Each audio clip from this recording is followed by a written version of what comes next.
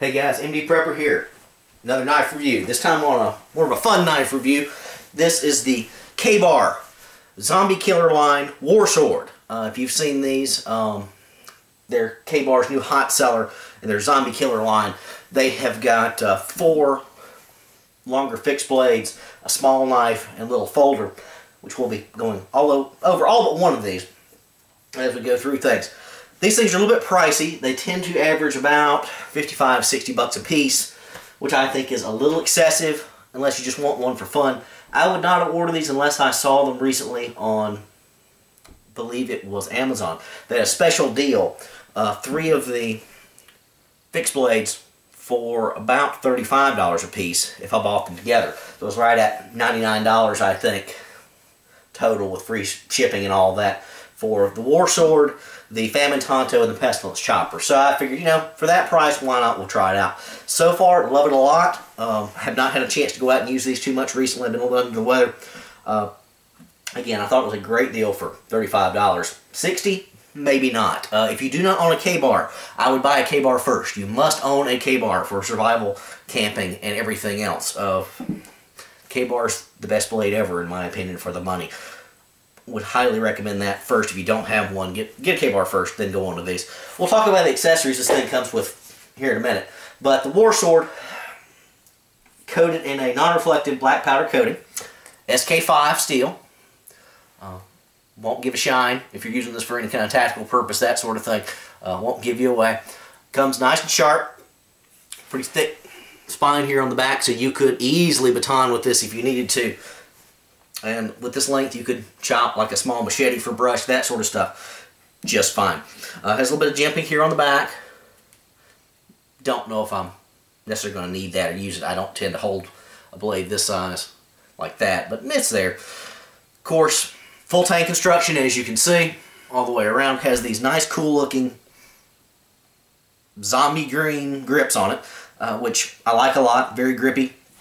Nice kind of pebbling, kind of grip on that.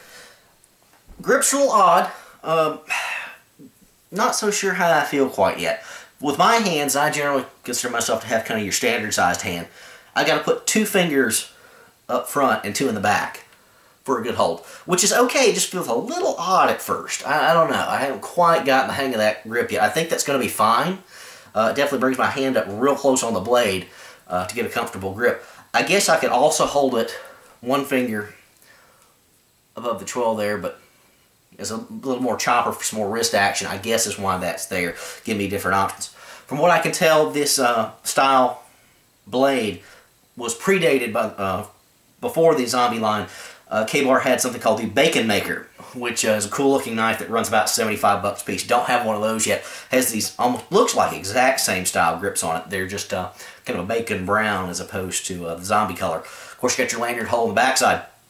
Uh, other stats on this thing, as I said before, it's SK5 steel, uh, made in Taiwan, the blade anyway. The blade is uh, 9 and 3 quarter inches long. The whole little short sword here is 15 and 1 8 inch overall. So pretty handy, got some decent reach to reach out and touch that zombie. Good enough for thrusting, good enough for chopping. You've got a little curve on the inside there. Give you a little extra chop to it here if you need it. Now other things this comes with uh, as a bonus has a tremendously amazing sheath. Love the sheath. Uh, it would be a wonderful starting point for a uh, bug out type survival kit, something like that. Uh, Cordura, two snaps up top. Also has a Kydex insert sheath down in there for your blade so it doesn't cut up the sheath, which I think is a tremendous improvement. Uh, Cold Steel, are you listening? Uh, you got two fixes, uh, here. Not going to fasten that up right now. But uh, they're held on the back on this one, on the lower one with Velcro, so you can actually take that one off if you want to. Uh, I'm not going to snap those on at the moment.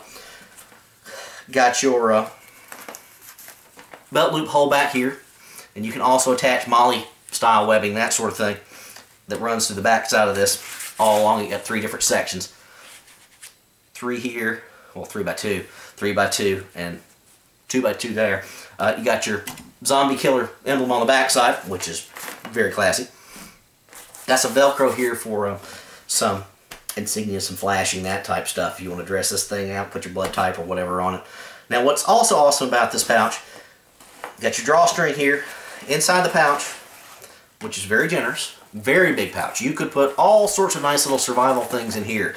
Um, fire starters, uh, Altoid survival tins, anything you can think of just about is pretty well going to go in here. Maybe another knife if you wanted to. Oh wait, there is one.